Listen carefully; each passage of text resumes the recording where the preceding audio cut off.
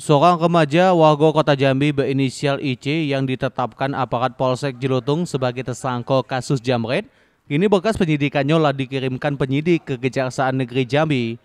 Guna diperiksa jaksa penuntut umum mengenai kelengkapan berkas, adapun untuk jawabannya sementara ikut belum diterima penyidik.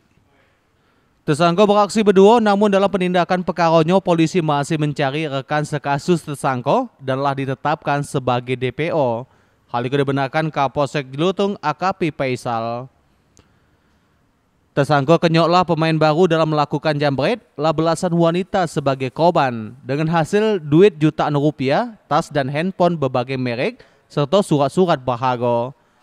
Atas kasusnya, sejauh pidana tersangka terancam dihukum mendekam di penjara selama tujuh tahun.